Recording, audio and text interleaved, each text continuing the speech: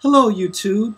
This is Elder Esquire, and today we are speaking about my new last name, my new surname, Chineke Izin Ula.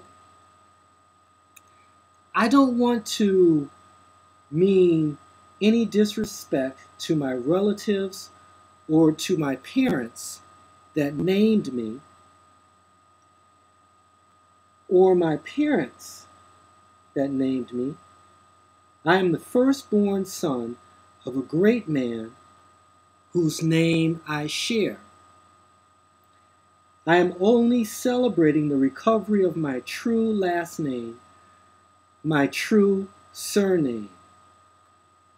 My last name, my surname is Chineke Izin Ulo. It is Igbo name taken from the nations of Ghana and Nigeria in the continent of Africa. The Igbo tribal people are indigenous or original inhabitants of Ghana and Nigeria. My wife, who is also black African from the diaspora, asked me about a new name. I said, You can't change the name your parents gave you, but you can change your last name from the former slave owners. I started researching and felt led of the Lord Jesus Christ to record this new name. In the Western black African slavery in the U.S., black African slaves were property and were legally compelled to assume their owners' surnames or last names. The owners sometimes named the individual black African slave their first name.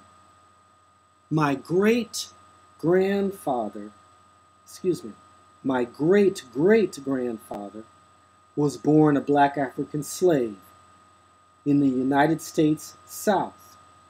Because black African slaves in the U.S. were considered property, their birth records were not officially recorded. Then praise the Lord Jesus Christ. The Southern rebels, the Confederacy, lost the U.S. Civil War and the quote unquote war between the states in 1865. Then began a unique period in United States history from 1865 to 1877. The U.S. attempted to change the legal status and actual living conditions of black Africans and former black African slaves that lived in the United States.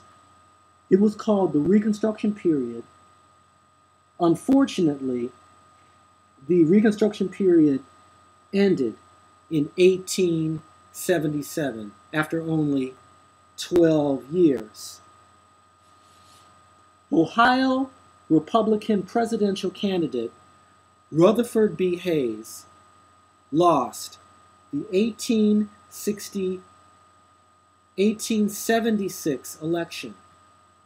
He told the powers that be that if you will allow me to be president, I will remove the U.S. federal troops that are protecting the black Africans in the United States South and the former black African slaves in the United States South.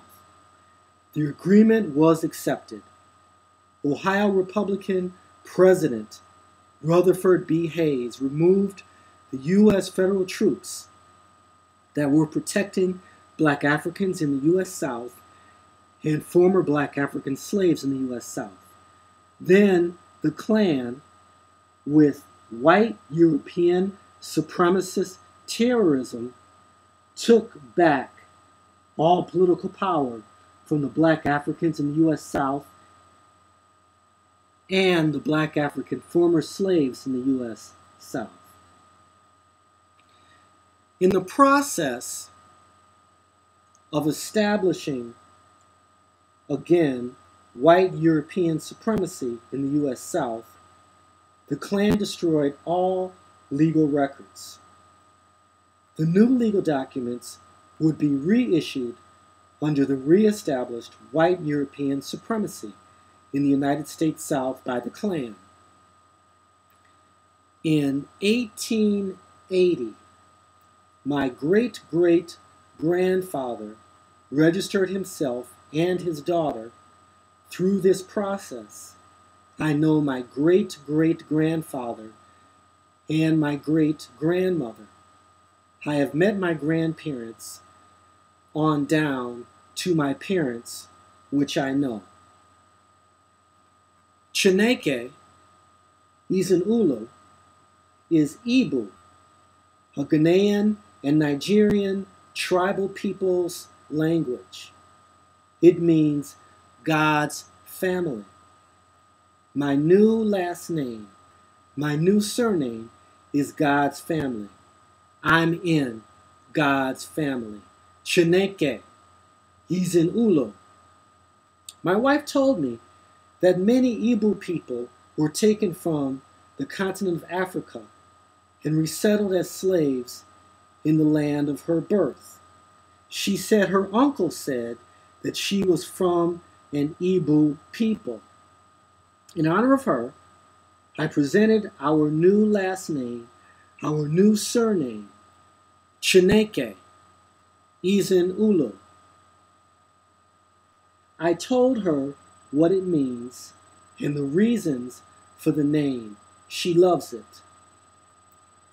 So, I would like, if I have a funeral or memorial service, to refer to my father's name and in brackets my new surname, my new last name, with a full explanation of why I am called Chineke Ezinulo.